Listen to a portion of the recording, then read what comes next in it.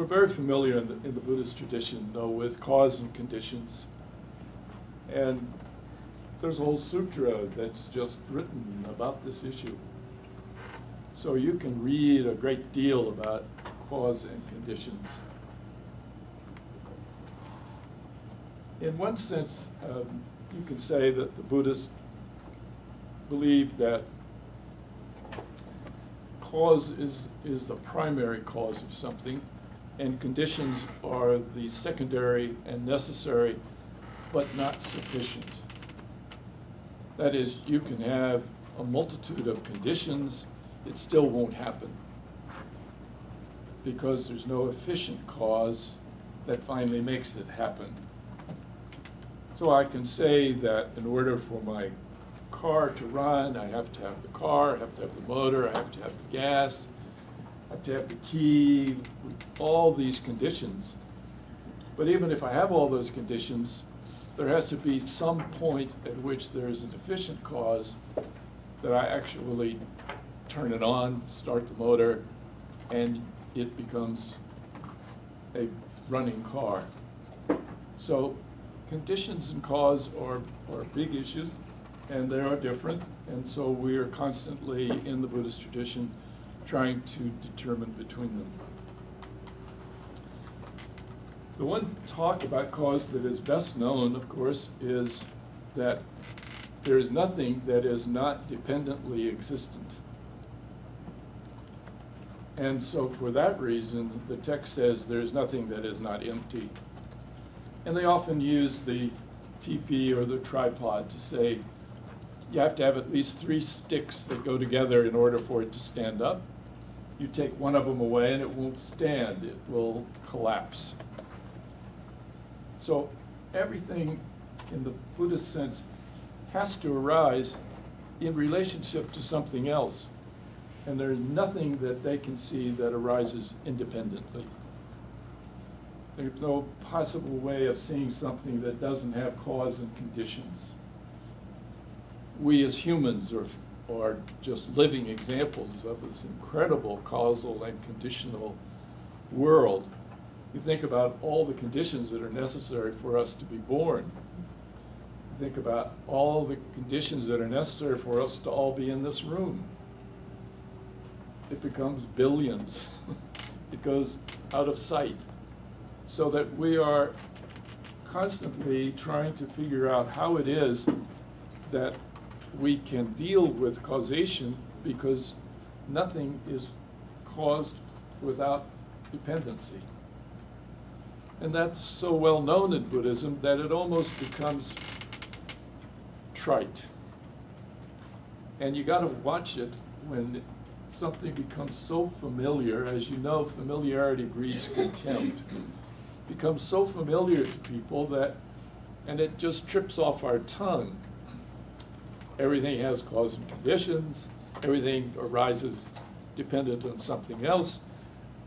And we can say that and go ahead and lead our lives without really thinking about the implications of it. So today, part of this lecture is to think about the implications of this in terms of what emptiness has to do with causation and how that comes about. The texts tell us that whatever is impermanent is subject to change. And then they go ahead to the next stage. Whatever is subject to change is subject to suffering. Suffering also can't be translated as another idea, which is uh, that I'm not satisfied. Dissatisfaction. The word in Sanskrit can either be dissatisfaction. We've made it a little harsher because we use the word suffering for the Sanskrit word dukkha, but impermanence and change brings about dissatisfaction. So we look at life and we're dissatisfied because it always leads to old age. And then we're told old age is not for sissies. That's probably true. the dissatisfaction that we feel is that we're very content if things would just stay firm. If you own a house, I think you understand that absolutely and completely. I built, a, my wife and I had a house built. Now it's uh, 26 years ago. Well, at the time, everything was new. All the, the whole house was brand new, and even the appliances were brand new. Now, 26 years later, they are all old at the same time. And it's just terrible because every week something breaks, something stops working. and it's like I am dissatisfied because this change is causing me a lot of suffering and it's also wrecking my budget. And we're not going to have enough money to eat if things keep breaking. Just before I uh, left on a trip, we have this fancy system we had to put in for our septic because we're not on the sewer system. The alarm went off just as I left the house to go get into the car and go to the airport. Oh. Which says the system no longer is working. so when I came back, I had a $4,000 bill and I thought, I am dissatisfied with this. I am suffering because it's changing. It's all falling to pieces now that it's gotten older. So whatever is subject to change is subject to this kind of dissatisfaction. The Buddhists were well aware of that, and that is part of the teaching and why they put a lot of focus on change, causal relationships. Because if you're going to solve suffering and dissatisfaction, you have to deal with causation.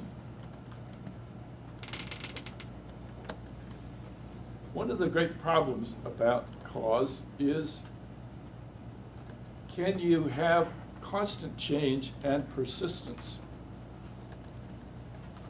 So in the Greek logic, there is the ship of Theseus. The ship of Theseus has been reconstructed so many times in the story that it no longer has a single piece of the original ship in it. Is it then still the ship of Theseus? Same thing happens, I was studying Korean monasteries. I started looking at the history of one of the great gateways. I started looking to see that it had been rebuilt eight times.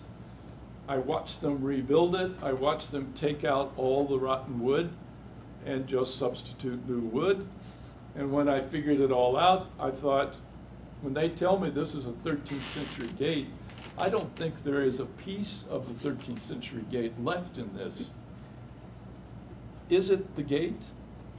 What gate is it? Is it the ship of Theseus? if you have this kind of complete change, where's the persistence? Am I justified in saying this is a 13th century gate? Or am I lying? Am I justified in saying this is the ship of Theseus? It's not got a single piece of the original, but I'm still going to say it's a ship. Well, it's okay for gateways and ships. We can take it or leave it.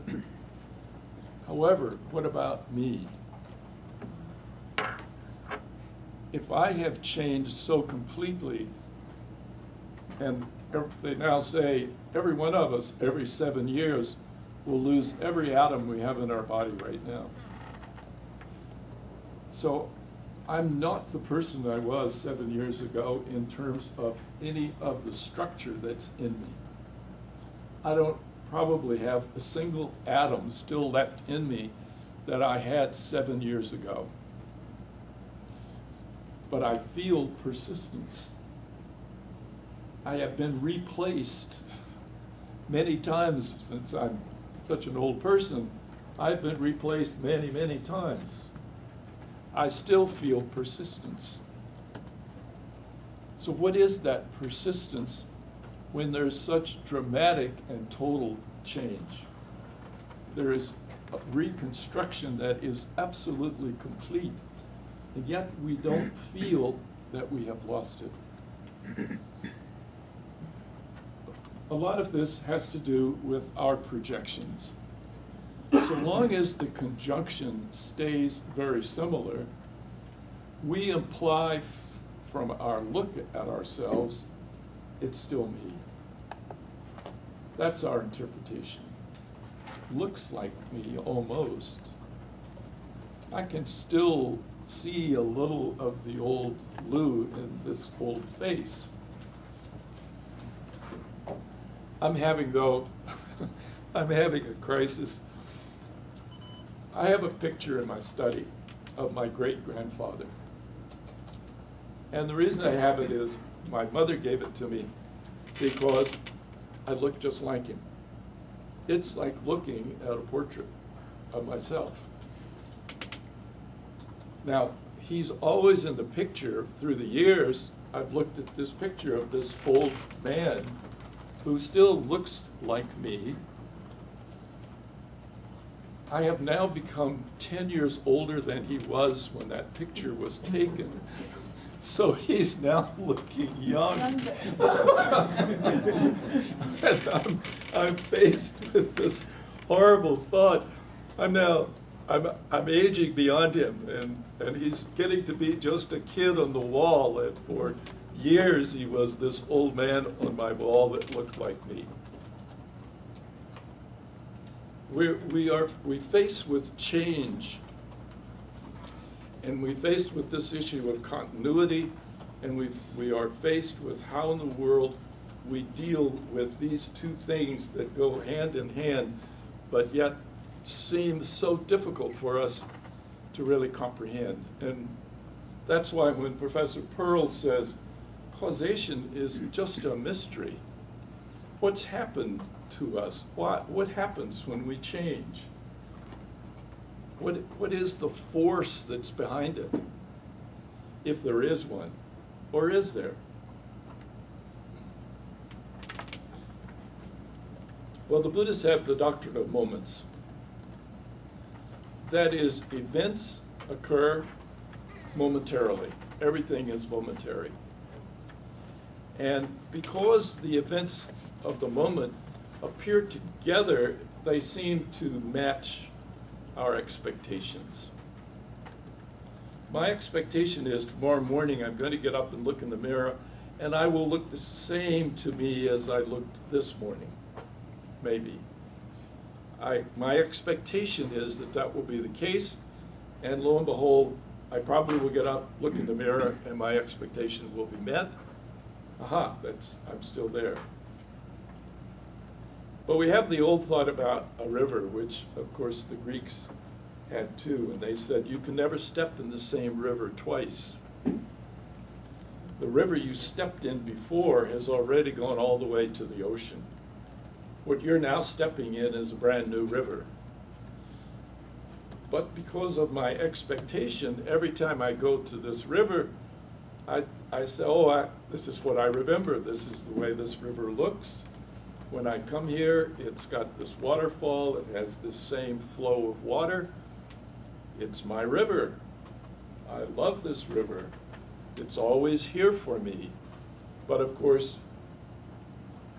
in the doctrine of moments, that river in every single nanosecond is changing. And as these moments are, are appearing in a staccato-like blink of the eye, my expectation that the river will still be there turns out to be seemingly supported by my observation. So we're like the river. We're changing and flowing, and the atoms are flowing through us all the time. And we are never able to be the same person from one moment to the next. Somebody asked me, so why aren't you teaching about reincarnation? And do you believe in re reincarnation? I had that same question at the prison. One of the prisoners asked me that he had a lot of trouble with reincarnation and could, but he asked it in a, in a very interesting way. He asked me, would, would you convince me that it's so? he didn't ask me to explain it to him. He, he really did. He said, it's like, I want to believe it, so convince me.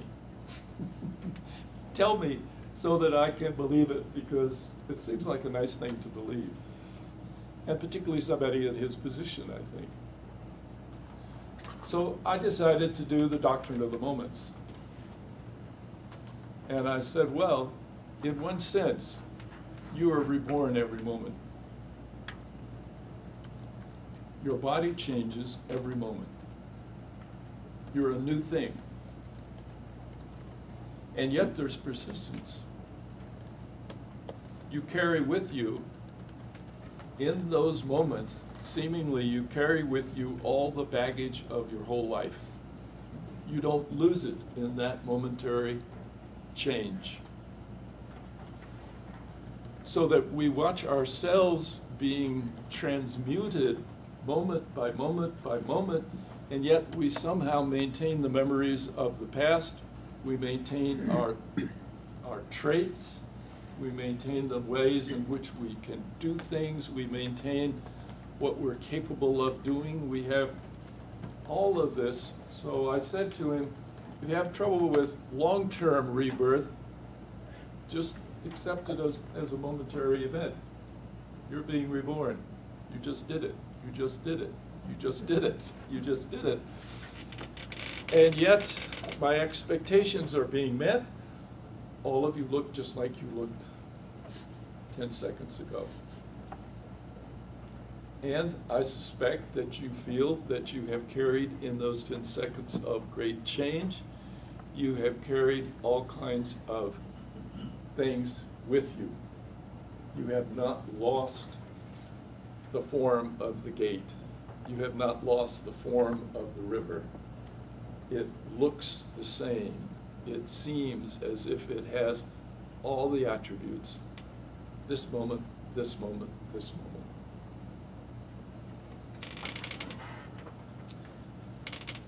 The thing which amazes me most in the world, I think, is gravity. I still don't really truly understand gravity. But if I go up to a cliff and push a rock over and it falls off the cliff, then I can say, here's efficient action. I went up to the edge of the cliff and there was a rock and I pushed it, a force, and it fell. And there was a succession of moments as it went down, down, down until it hit the bottom and there was a great boom. I have no problem with saying, I caused that. And I see that what I caused was I caused the rock to fall. But with gravity, that's not what happens. It does appear to us to fall, of course, and it does fall. But gravity says that two bodies in gravity are attracted to one another the ground is attracted up as the rock comes down. The two are being are attracted so that the Buddhist concept that things don't happen independently, in a way, gravity is like that. You can't have gravity just being one way. Gravity is this. So even if I step on the earth. It, to my utter amazement, the earth is attracted a little tiny bit to my foot. Otherwise, my foot wouldn't touch it. In other words, a person, as it says, pulls up the earth with a force equal to their own weight. Think about that for a moment we are in a situation where we are so intertwined in gravity that whatever I do with regard to something else, the other thing has to also be reacting in an equal way. It is attraction. So if an asteroid heads for the Earth, we think it's just a one-way thing. This asteroid is smashing through space, but the Earth is being attracted toward it. We wouldn't perceive it. We only know it through sometimes mathematics, but it actually is occurring. That's gravity. So, you see somebody breaking bricks or breaking boards in martial arts. It appears that the hand comes down with such force that that force causes the boards to break. And it does. However, before the boards break, they push back. And that's what injures your hand if you do it. What injures your hand is gravity. But the gravity is not in your hand, the gravity is the board pushing back. That's what causes the in injury. An injury is a mixture of two things. It is the downward motion and the attraction. And nothing is happening just by itself. It is not just that hand moving down. I had a, a student, uh, he, he was in Beijing early on and, and they had just decided that they would allow people to hear about martial arts. He was at uh, Beijing, Peking University in Beijing, they call it Peking University still. And so they had student night and he said, I'm going to break uh, boards because I'm a black belt. But he said he got very nervous about going on the stage in front of you know, like 5,000 students were out there and they were all fascinated to see this American come out and show his power of breaking. And when he went out, he, he did it and it didn't break. Mm-hmm. And he tried it again and it didn't break. And finally, they begged him to leave the stage because you know, his hand was getting bloody from this. And he realized, of course, I haven't emptied my mind. I am thinking I need to use my strength to break those boards. So he, he sat down and he meditated for a bit and really cleared his mind. And then to their horror, he walked back out on the stage without permission and broke the boards. It was a recognition that when what you have in this is you cannot think, I'm going to do it, and you do it. And in a sense, that's what gravity teaches us. It's this coming and going of the gravity which we become part of to such a degree that the force itself will work. So he could do it, but he couldn't think about doing it. He could only do it. He couldn't have a concept, I'm going to break the boards. I watch these kids on, sometimes on an airplane, they have snowboarding uh, shorts, doing incredible things. I'm sure they're about to kill themselves. And but suddenly they can stop. And I've never quite understood how that could happen, except the, the edge of their board pushes against the snow, but the snow pushes back against the board. It's gravity. They are, they are just participating in the normal force of gravity, and with the uh, equal force to what they put forward, the snow pushes back equally. It's not just their control, it's the earth itself pushing back.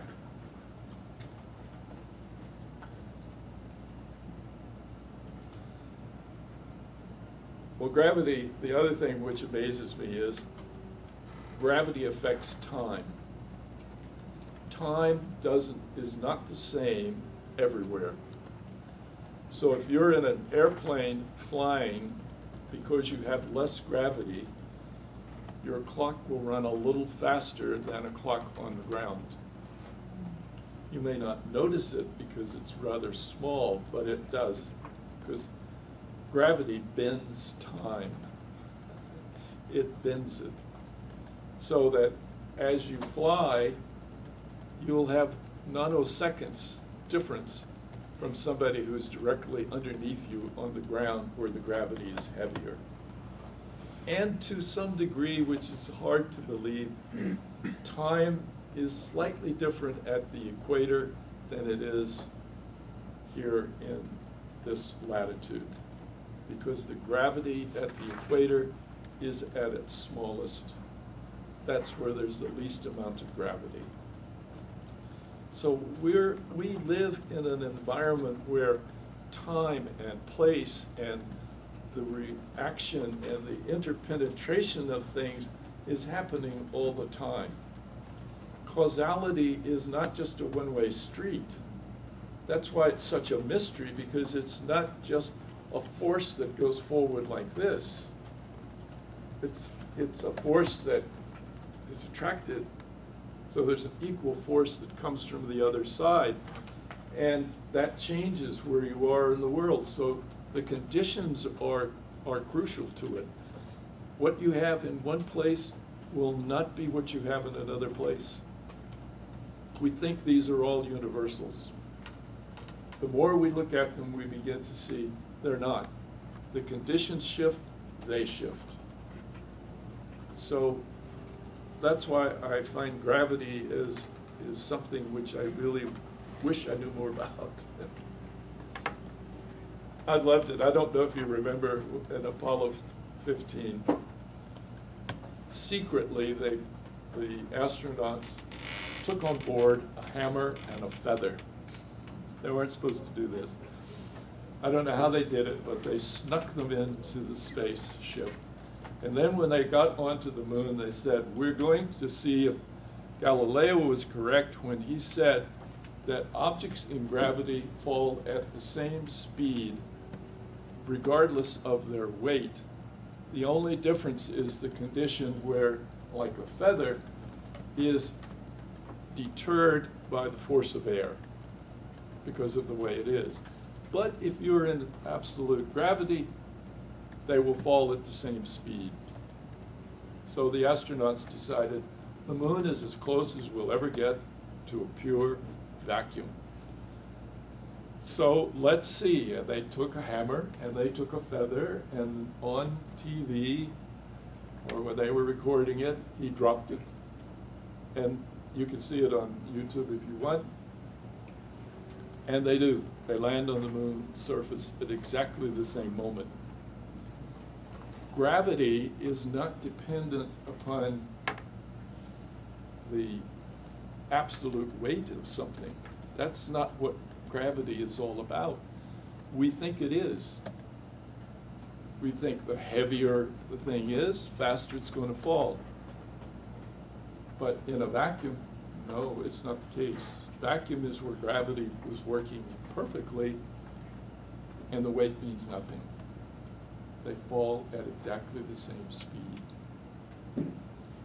So I talked about vacuum before in terms of how important it is to somehow clear out things so that you can have a pure thing in which to test. And that like the great machine in, in Switzerland, you need, in order to test, you've got to make it as close as you can to a perfect vacuum. Or you've got to go into outer space where vacuum comes as close as we can come. It's not a complete vacuum, but it's close. The other thing that we have is, is a big thing, association and cause.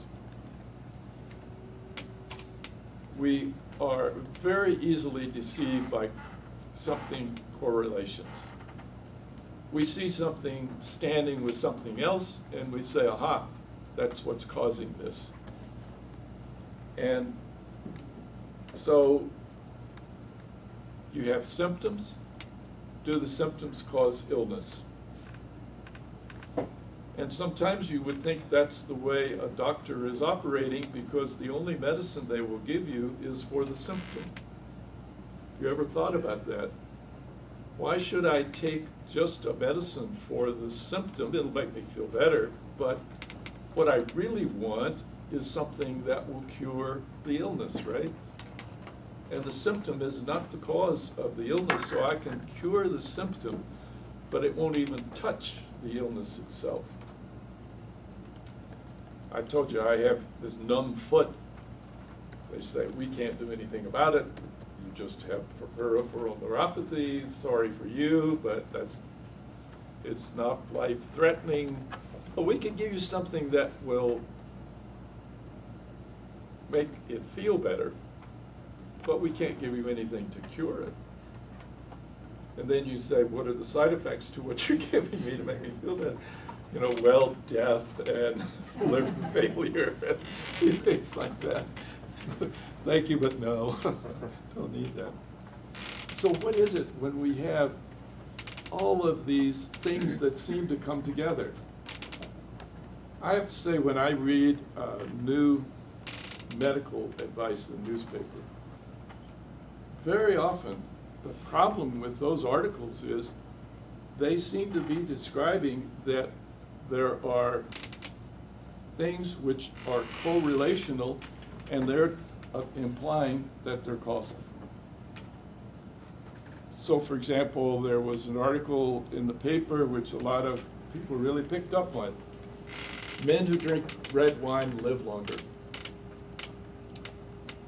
Well, I'm sorry, I'm just doing this for my health's sake. then somebody said, well, wait a minute. It's true. But if you add something else to the equation, you can get the reverse. This is called Simpson's paradox. You can have a correlation where it really is the case. You add a third one and it'll reverse. So for example, if you add to this that men who drink red wine tend to be better educated than the norm, have better health coverage, and have more money. Among that group of people, health is better, but among that group of people, when you only do your study with them, that is men who have that income, who have that health coverage, who have that support system, those who drink red wine live shorter lives. It reverses. You add another one, and it will reverse. It's like they did a study that said uh, boys who smoke uh, don't make as good grades. So there's a correlation between smoking and grades. But you could add a third dimension to that, which is boys whose mothers smoke um, make lower grades, and if you deal with where you have add that other dimension to it, it will reverse so that in the in many cases where you've got a situation of parents who smoke and children who smoke, the children in those environments, those are the only ones you test for. The ones who are in that environment where the parents smoke, the non-smokers make better grades. In other words, by adding another dimension to your, your correlations, so we should be really careful that this is not what the Buddhists mean by cause and conditions. Conditions are the things that stand with the situation, but if you take those conditions to be causal, I think you run, into the same issue that you have with these correlational studies. The conditions are not the cause. They are necessary. You got to have them, maybe, but they are not efficient. They are not sufficient, we say. They are not sufficient to bring it about.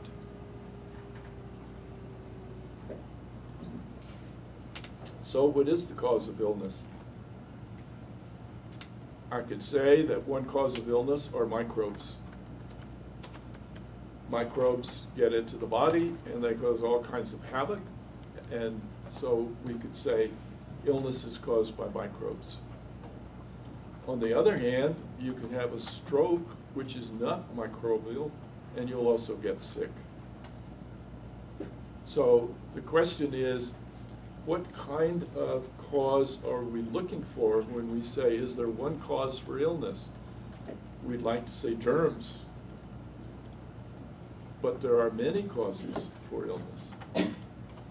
And sometimes a person can have uh, the germs in their body and not be ill. How do we understand how to fully understand cause? That's why when Pearl says it's a great mystery. We just don't know whether it's a force that's in there or whether we see something that happens, we're not quite sure why it happened, but we project on it, I have just observed cause and effect. Because this thing happened, and then this thing happened. So, of course, in logic, they all taught us, you're standing looking across the fields, you see smoke coming out of a train, and then you hear a whistle. And you say, ah, the smoke calls the whistle. It came first in my vision, and then I later heard the whistle. But that has to do with the speed of our sense organs. We're seeing always much faster than we're hearing. So consequently, we are constantly being presented with a visual followed by an auditory, and then if we're not careful, we're going to say, my visual must have caused the auditory because it came before it. And then there's another one with, you hear the rooster crow and the sun rises. Rooster always crows before the sunrise, so therefore there must be a causal relationship. It's not so much that the rooster is causing the sun to rise, it's that we are looking at correlations and we are implying causal because one comes before the other. So we have to be very careful when we see one thing happen and then another thing happen, we jump, we say, to a conclusion. And that's, that is where we get into deep trouble often. We jump to a conclusion before we really know what the total mechanism of it is. And sometimes we can never find out that full mechanism. Things can change. Um, you can become a sister if you have a sibling. You become a brother if you have a sibling. But it doesn't change you. In other words, part of what we see in life as change is like you can become a father or a mother from the birth of a child, but you're not really changed but you can't be a father without, or a mother without a child. So the Buddhists are always saying things arise together, but they're empty of their own essential nature. There is nothing essentially of essential in fatherness or motherness. They just arise together with the child, so they're empty it's not that, that I am changed because I have a sibling. But without the sibling, I can never be a brother. It happens at the same moment, but empty of any essentialness in me, just because the two things are required. They have to happen together. So that's why the Buddhists are constantly saying, things that arise because they are together with something else are always without an essential nature. They're always without it, no matter what you say, how you deal with it.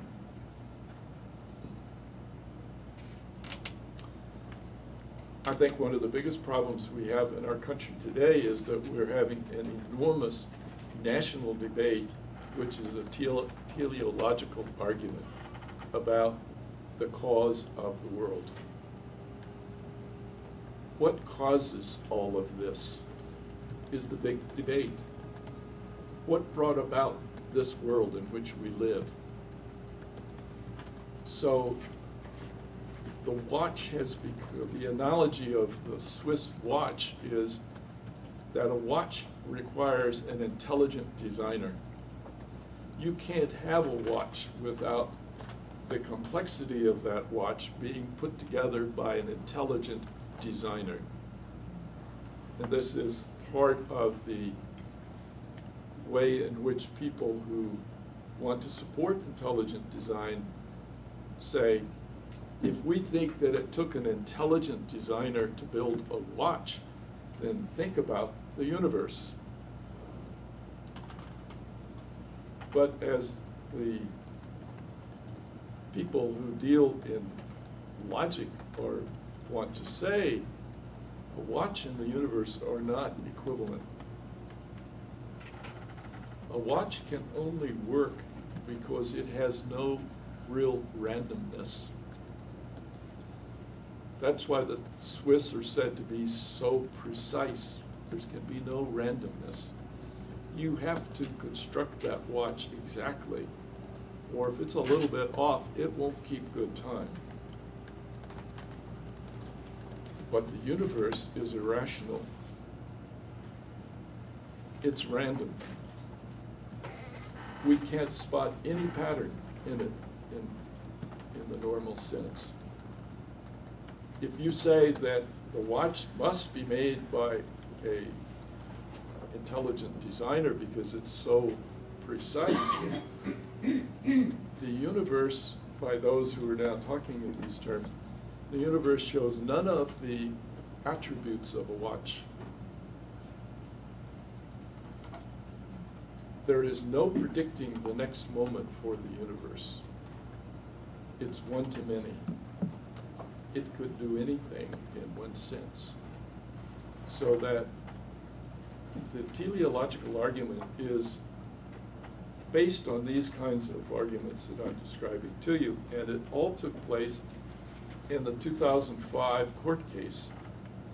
A court case in the Dover area school district uh, was brought about because the school board decided that teachers had to teach creationism in the public schools. And they had to teach that Darwin and evolution was just a theory that's unproved. They wanted to teach the children that things were came into existence intact. Fish with fins and scales birds with feathers and beaks and wings, etc. And they wanted this taught in the public school. So some of the parents took them to the, to the court. It never got to the Supreme Court, but they took them to federal court and said, they are forcing us to teach our children something in science which is not scientific. And they must prove to us that what they're asking us to teach in science is scientific.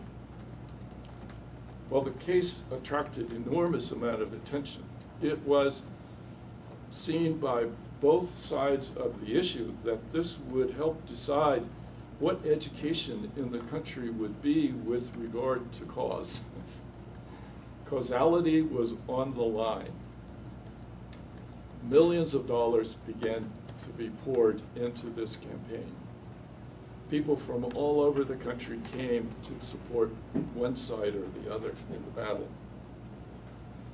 The decision came down and it has stood.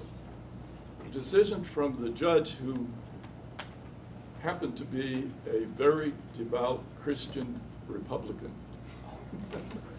which helped, I think. uh, because it was not a somebody who could be said to have been prejudiced the other way. He came down and he said, I see no science in what the creationists have presented, and his ruling was that this cannot be taught as science, and you must take it out of the curriculum. Uh, but this argument and this debate is still raging. So what we're talking about here is not something that's just in textbooks or just in logical, complex logic classes in universities. We are truly talking about something that is besetting our whole idea of what cause is and how we should teach our children about it. And the judge ruled that is that he believed that those who were pushing for the intelligent design were really pushing their religious beliefs in God and that they had no other argument to make for it and he just he, he ruled the other way. Um, so far, the case has not been appealed. It could go to the Supreme Court sometime, and it might still, but it has not been appealed. So we're, we are always faced with two things, the rational and the empirical. And when we're talking about cause with the empirical, it's static. In other words, when I have a statistic, it's set. But when I am talking about causal analysis, I really am talking about changing conditions. I think about this in modern day. We have what's called big data now. Everything is big data. Big data is statistical for the most part. When you search through something, you're counting. For example, Google counts how many hits they get in order to determine what's happening to the flu epidemic every year in the country.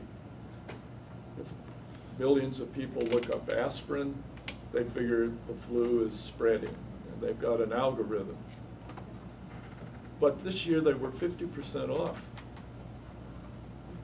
And it was hard for them to understand how, in past years, they've been relatively close, not really that close, but relatively. Last year, completely off. Because if you just take big data and you grab a static uh, collection of counts from that big data, and then you infer from it that it's true and everywhere, you can have big error the bigger your data and statistics, the bigger your potential is for error. So what Spock and Sherlock Holmes have taught us is that causal analysis is based on changing conditions. So I like to use the word, rather than big data, I'm trying to involve myself in long data. Long data to me is data which is based on changing conditions and changing context, not just grabbing a single snapshot of a count from big data, because it's when I use my rational mind that I begin to maybe have a better look at what's happening. I know you've all heard this one, it's, it's so fun though. 100% of all people exposed to water will die. Statistically, that's true, right? 100% of all serial killers, rapists, and drug dealers have admitted to drinking water. Shows you how dangerous water is. Water is the leading cause of drowning.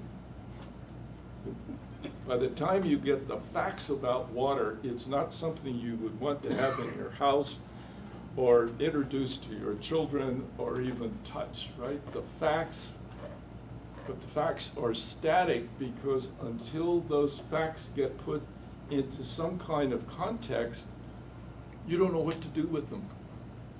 That's not a causal analysis.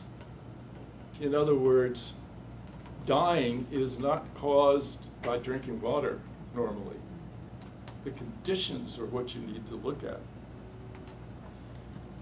For me, I've been working on mapping for a long, long years, and I have learned without any question that you cannot derive a cause from distribution. For example, if you look at the map of the religions of India, you cannot, from just a map of distribution of the religions, come up with any kind of explanation. There is no causal analysis that you can make about that map unless you have other information in order to make a rational causal argument about it.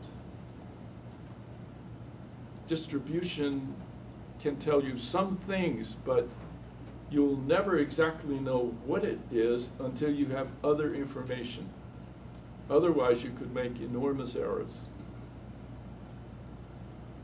So, causal concept, everybody who studies it says, you cannot derive a causal concept from statistical claims alone it simply doesn't work. We have to add some other dimension. This is where the Buddhist cause and conditions come in. You have to figure out when you have something that happens and you have all the conditions for that were present when it happened, you still don't necessarily know why it happened. You still don't know you have to try to get as close as you can to the event itself. So when I push a rock off the cliff, then I could say, aha, I've just shown you directly a direct cause. I pushed it off and it fell. I did that.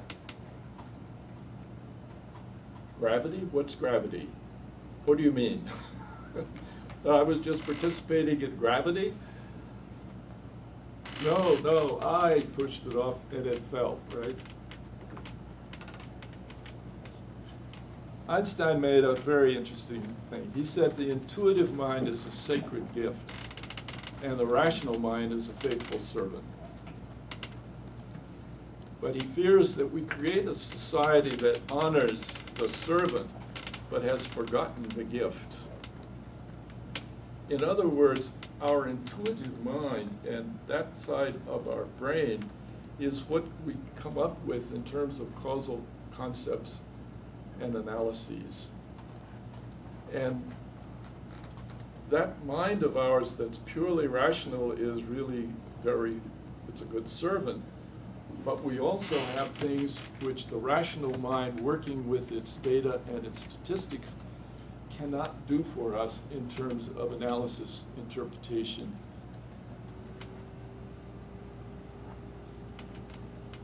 I just put in this, this thing. If you read it, if you know what it means, tell me.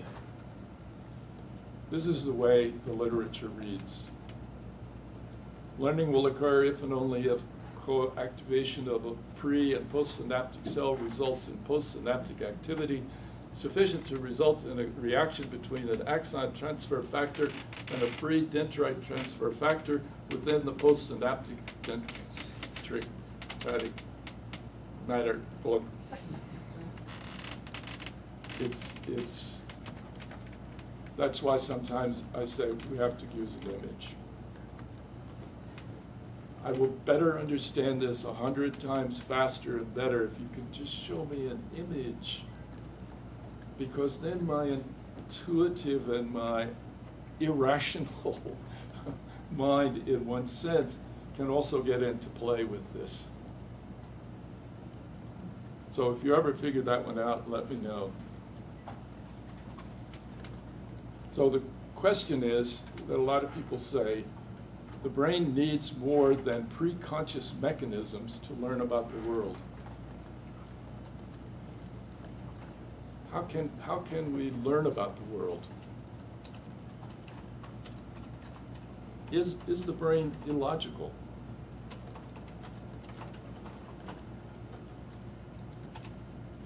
It's like what, what Chomsky says, his, his belief is that the experience available to a baby is too sparse for language learning. A baby comes into the world and starts learning language right away, and Chomsky says, how can that be? They don't have enough experience if all they have is what they have experienced since they were born. It's too sparse. There has to be a, another aspect to learning a language which is built in and which is as I say, a priori. It is already in the baby when it's born. It's an innate ability. It's in the structure of the brain itself.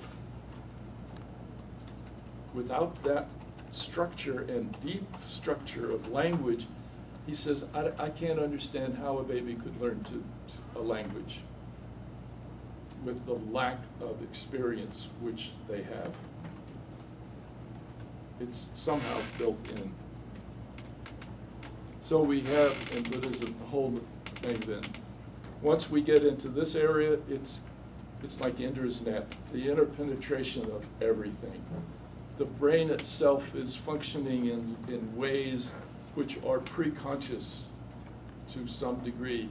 And how do we take what the brain does for us and how we can deal with it and understand that at the same time we have endlessness.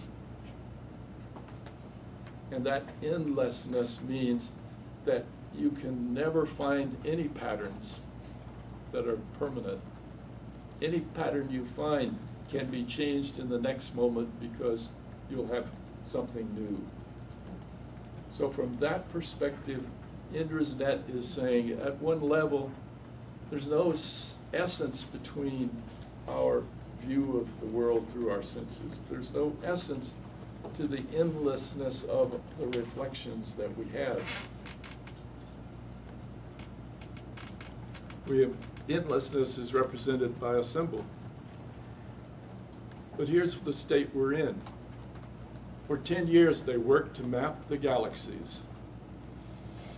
They finally mapped all the galaxies that are within 380 million light years of us. And that, in, that has reached the grand sum of 43,000 galaxies. They now map them. And they can make this map of them. And we can see what's within 380 million light years of us. A lot. 46,000 of these galaxies.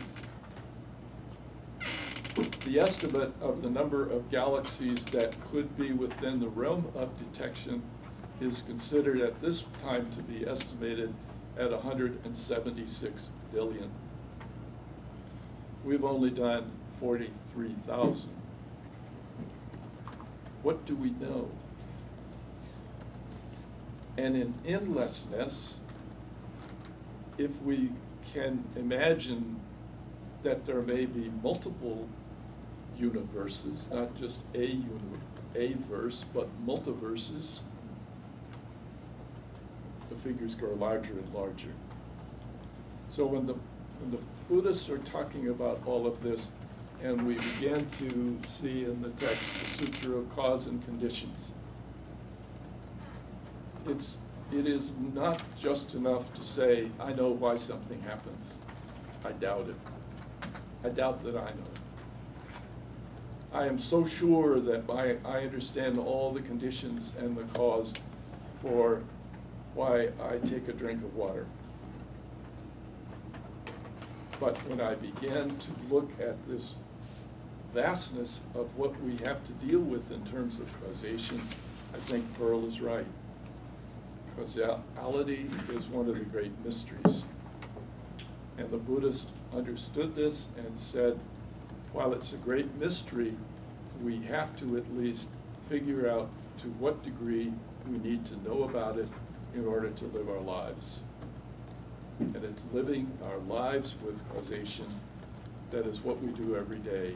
We try to decide how to learn from what we think we're seeing, which we think we're seeing cause and effect. And that's what we base ourselves on. But the Buddhists have suggested that what we think to be cause and effect is probably empty. It is empty of the pattern because we simply do not know whether that's the totality of the picture, whether that pattern that we see is going to hold if we get a wider picture or not. So um, it's nice to feel that we don't know everything, and that's why I gave you that picture of Grobstein, who said, our only hope is to be a little less wrong. Okay, thank you.